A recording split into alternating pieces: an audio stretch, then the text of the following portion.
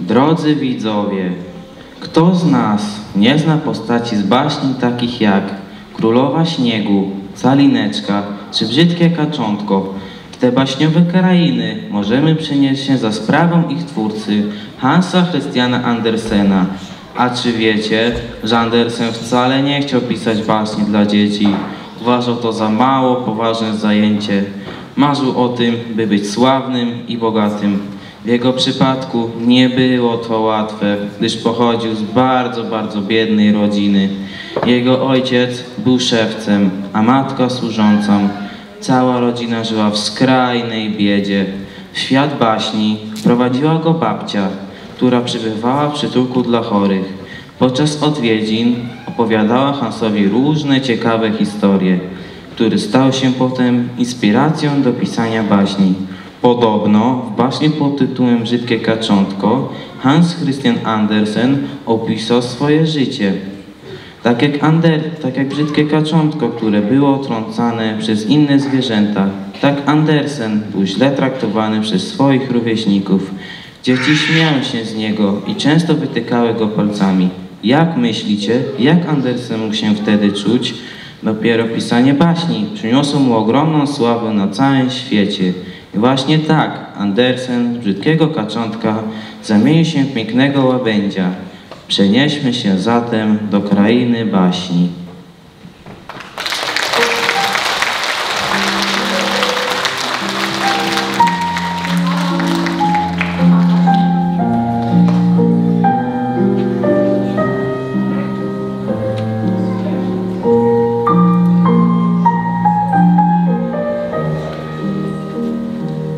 Zapraszamy Was, abyśmy przenieśli się teraz wyobraźnią do wspaniałej krainy. Poznamy tu maleńką dziewczynkę i jej świat.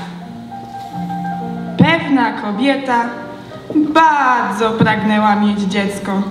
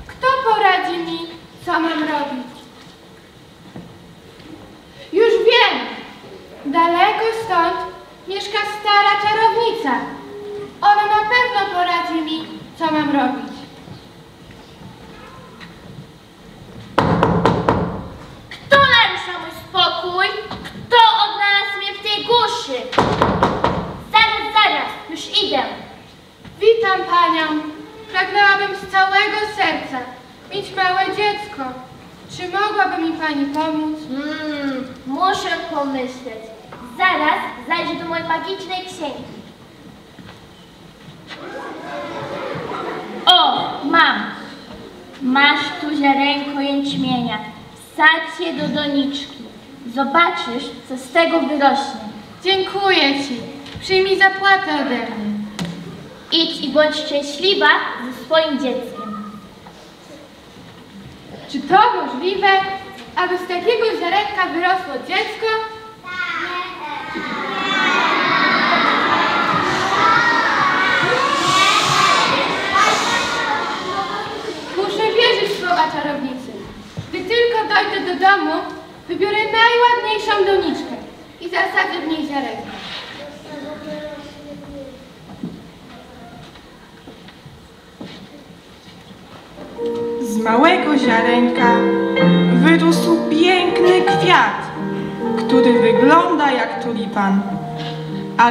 Płatki są jeszcze stulone tak, jak gdyby kwiat był jeszcze w pączku.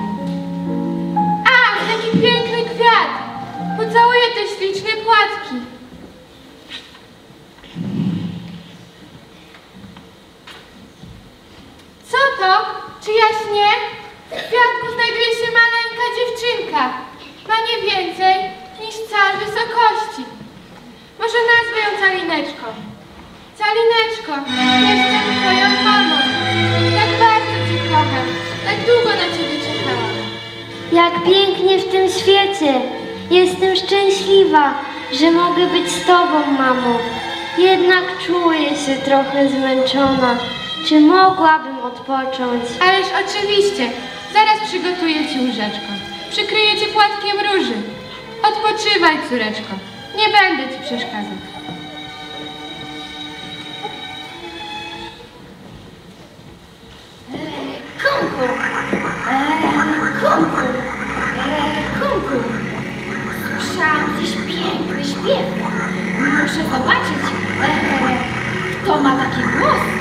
Może właścicielka też jest śliczna. Szukam żony nowego przystojnego synka. Eee. O! Ta istotka będzie w sam raz żoną Wenus. Muszę się śpieszyć. Ona śpi. Kradnę ją stąd. Eee. Co się stało? Gdzie ja jestem? Och, jaki brzydki i wstrętny stwór. Brekekekek, brekekekek. Matko, co to? Co to jest? Nie gadaj tyle! To twoja przyszła żona! No co? Powiedzcie, że piękna!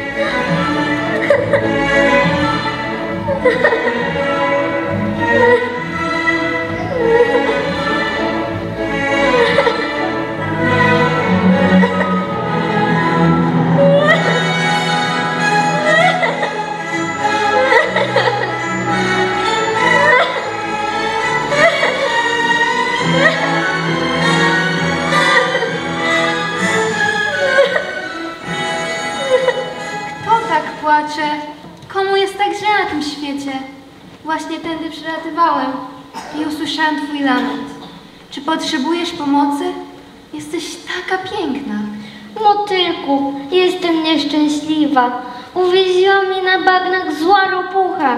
Teraz chcę, aby poślubiła jej obrzydliwego syna. Muszę zamieszkać w mokradłach, a ja tak kocham słońce. Zazdroszczę ci, że możesz sobie fruwać. Gdybym ja tak potrafiła, uniosłabym się wysoko i uciekłabym stąd. Czy mógłbym coś dla ciebie zrobić? Pomyślmy. Jakby dostać cię z tego liścia? Już wiem, moja sukienka przepasana jest kolorowym paskiem. Gdybyś go schwycił, mógłbyś mnie na nim unieść w górę. Zaraz tak zrobimy. To dobry pomysł.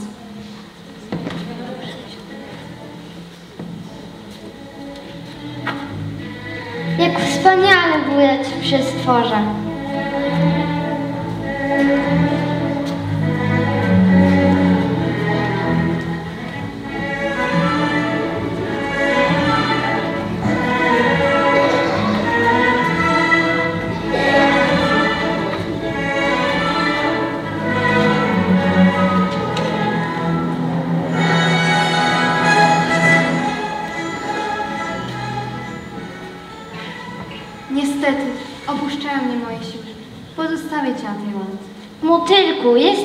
Wdzięczna. Rozejrzę się wokół. Może znajdę dla siebie mieszkanie.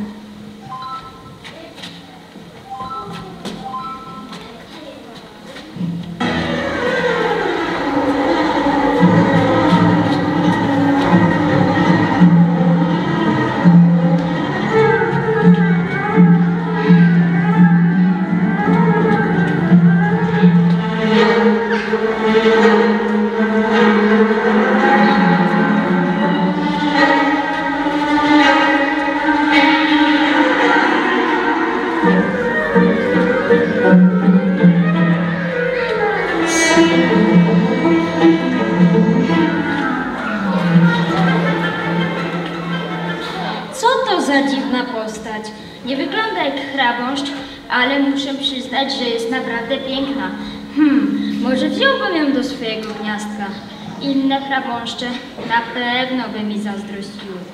Muszę podejść bliżej i schwytać ją. Ojej, a co to takiego? Przeraziłam się. Co ty zamierzasz ze mną zrobić? Nie bój się, będziesz mieszkać ze mną, nie zrobię ci krzywdy. Kim jesteś? Jestem chrabąszczem, mieszkam na drzewie. Ależ ja nie mogę mieszkać tam, gdzie ty. Jestem człowiekiem, chociaż bardzo małym. Nie wiem, co to jest człowiek, ale muszę przyznać, że ty jest na, jesteś naprawdę piękna. Oto moje drzewo. Rozgość się, a ja poszukam czegoś do jedzenia. Wypuść mnie, nie będziesz ze mną szczęśliwy.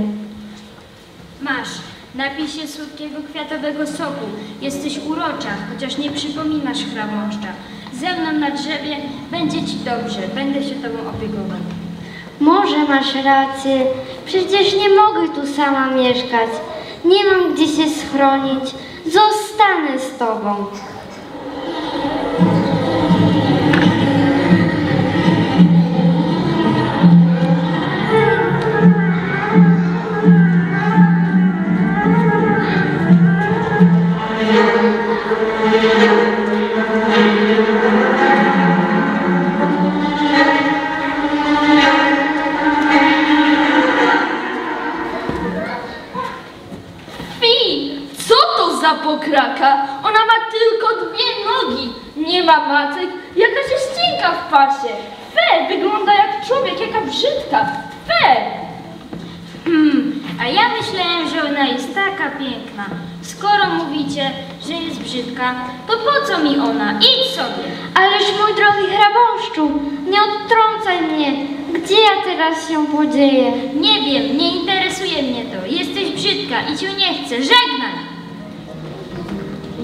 Przez całe lato mieszkała biedna calineczka, sama jedna na łące. Uplotła sobie łóżeczko z traw i powiesiła pod wielkim liściem szczawiu, aby deszcz na nią nie padał. Zbierała soki z kwiatów i piła rosę, która co rano lśniła na liściach. Tak przeszło lato i jesień. Ale oto przyszła zima, mroźna, długa zima. Wszystkie ptaki, które tak pięknie dla niej śpiewały, odleciały. Drzewa i kwiaty zwiędły. Calineczka marzła straszliwie, bo była delikatna i mała. Biedna calineczka mogła zamarznąć na śmierć. Zaczął padać śnieg i każdy płatek, który na nią padł, był tym, czym dla nas cała łopata śniegu. Bo my jesteśmy duzi, a ona miała tylko cal wysokości. Otuliła się ze swym liściem, ale nie ogrzało ją to wcale. Drżała z zimna. Pod lasem, gdzie mieszkała, znajdował się duży łan zboża, ale zboża nie było od dawna, tylko nagie, wyschłe drzysko sterczało na zmarzniętej ziemi. Już nie mam siły. Położę się tutaj, a potem niech dzieje się co chce. Co ja teraz pocznę? To chyba nasza ostatnia wyprawa po ziarno. Zima nadeszła. Już niedługo nie wychylimy nosków z naszej cieplutkiej norki. Na szczęście mamy duże zapasy. Nasza spiżarnia jest pełna. A co to? Co to za stworzenie? Czyż już nie żyła? To okropne. Co się stało? Czy ja już umarłam? Nasze ty biedne stworzonko, chodź do ciepłego domku, ogrzejesz się u nas. Uratowałyście mi życie. Dziękuję wam, myszki. Chodźmy, oto nasze domostwo. Czy mogłybyście, myszki, dać mi maleńkie ziarenko jęczmienia? Od dwóch dni nic nie miałam w ustach. Ależ oczywiście, rozgodź się, a my przygotujemy obiad, który z nami zjesz. Mogłabyś zostać u nas przez zimę, ale musisz ładnie i czysto sprzątać nasz pokój oraz opowiadać nam bajki, bo bardzo lubimy bajki. To byłoby spełnienie moich marzeń. Tak bardzo chciałabym tu zamieszkać. Jeżeli już odpoczęłaś, możesz posprzątać po obiedzie. Zaraz uwinę się ze sprzątaniem. Będziemy miały wkrótce odwiedziny. Nasz sąsiad ma zwyczaj odwiedzania nas raz w tygodniu. Powodzi mu się jeszcze lepiej niż nam. Ma wielki salon i nosi piękne aksamitne futro. Jest wielkim uczonym.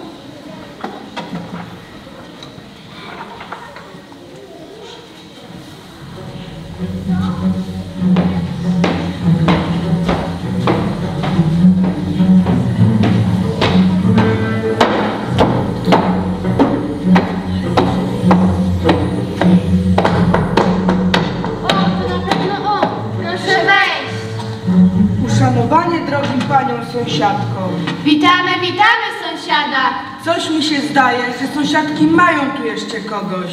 Podejdź moje dziecko, przedstawiamy Ci Calineczkę, maleńką dziewczynkę ze słonecznego świata. Dzień dobry. Słyszałam o tobie, Krecie. Wiem, że jesteś bardzo mądry. Ależ ona przepiękna, doprawdyż? Cóż za inteligencja i poczucie kultury. Może sąsiad usiądzie. Calineczka zaraz nakryje do stołu i poczęstuje Cię ciasteczkami, które same upiekłyśmy. Bardzo chętnie.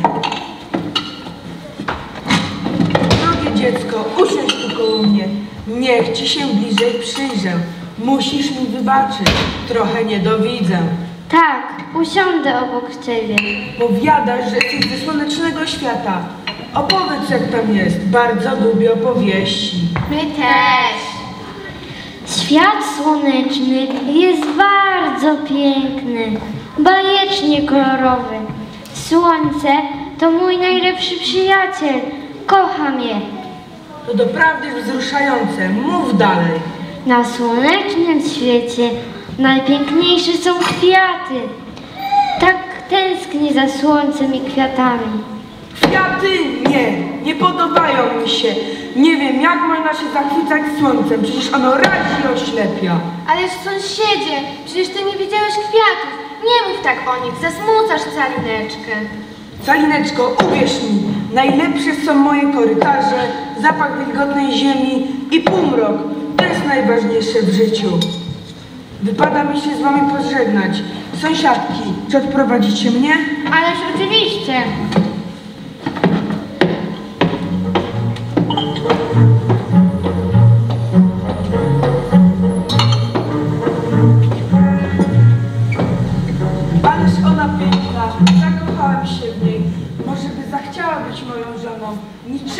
Nie zabraknie. Jestem przecież bogaty. Nie wiem, spróbuję z nią porozmawiać. Uważajcie na tego martwego ptaka. On tutaj gdzieś leży. Będziemy już wracać. Do zobaczenia. Zapraszamy wkrótce. Do zobaczenia.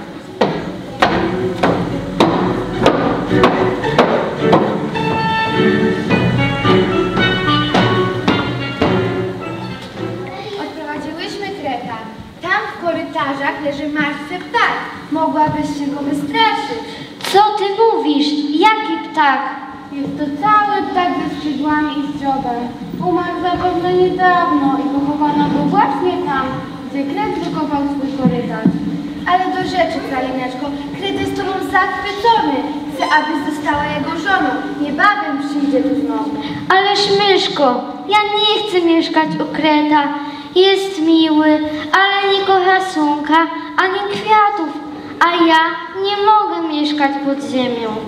Gadasz głupstwa, będzie ci dobrze, będziesz bogata. Cóż mi z bogactwa, kiedy już nigdy nie będę mogła zobaczyć słonka, ani usłyszeć śpiewu ptaków.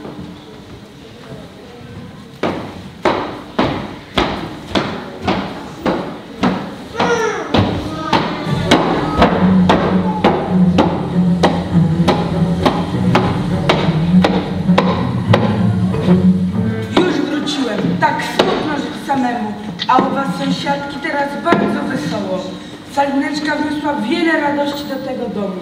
Idąc tu, natknąłem się na tego martwego ptaka. Biedny ptaszek, już nigdy nie będzie mógł śpiewać. Jakże godne politowanie zwierzę, które urodziło się takie.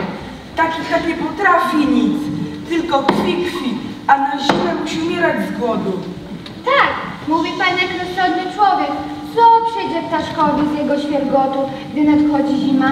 Musi głodować i marznąć, jednak jest w tym coś zniosłego.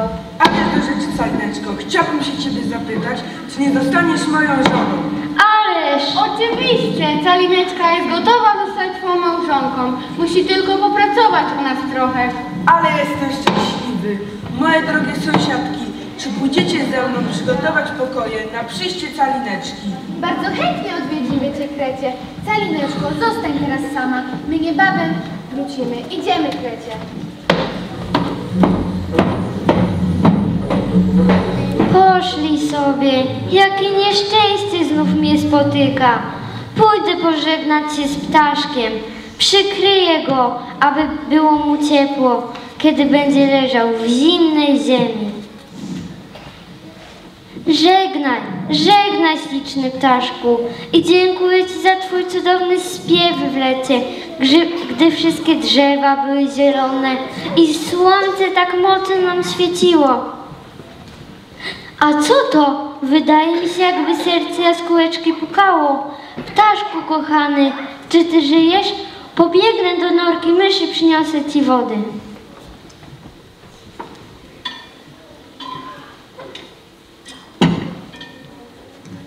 Pij, dobry ptaszku.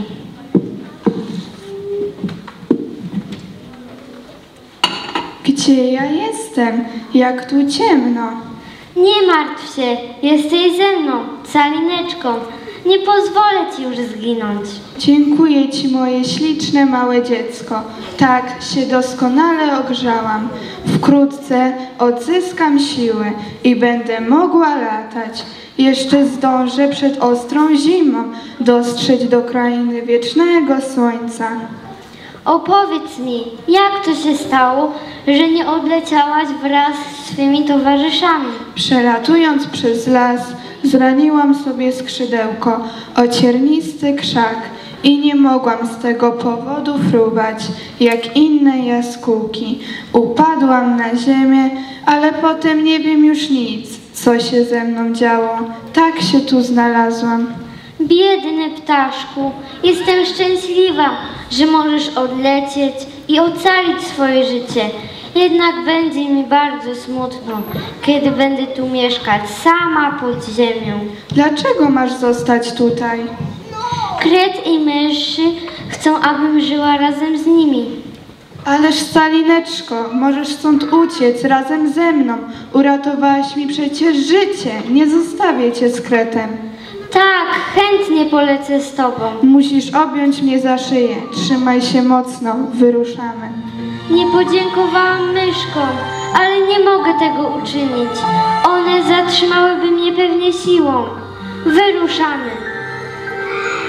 Jaskółka poleciała wysoko w powietrze, nad lasy i morze.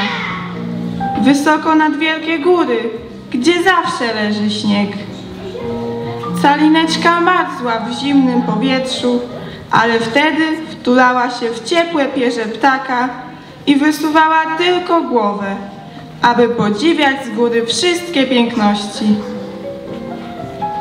Już jesteśmy na miejscu. Kraina. Słońce świeci tu o wiele jaśniej. Na wzgórzach rosną wspaniałe kwiaty. Jestem oczarowana. Spójrz, tam jest moje gniazdo. Będę teraz w nim mieszkać. Ciebie, Calineczko, zostawię na dole, wśród wspaniałych kwiatów. Wybierzmy na twój dom, najpiękniejszy. Może ten jest taki delikatny. To odwiedza moją krainę. Czego sobie życzysz, piękna istoto? Jakiż on piękny. Czy to twoje królestwo? Kim jesteś? Jestem maleńkim człowieczkiem, duchem kwiatów. A ty? Ja jestem dziewczynką z innej krainy. Mam na imię Calineczka. Jesteś taka piękna, najpiękniejsza na świecie. Czy ty mieszkasz tu sam? W każdym kwiatku żyją maleńkie duszki, a ja jestem ich królem. Przyjaciele, zapraszam was na łąkę. Czy mogę, królu, zostawić u ciebie calineczkę? Może pozwolisz jej być szczęśliwą. Ona jest taka pokrzywdzona przez los. Będę zaszczycony, gdy calineczka zostanie ze mną.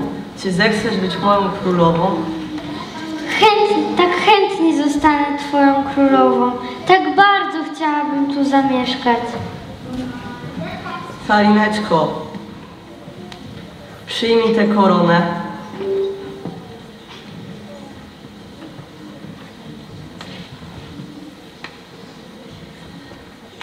Oraz dwa piękne skrzydła.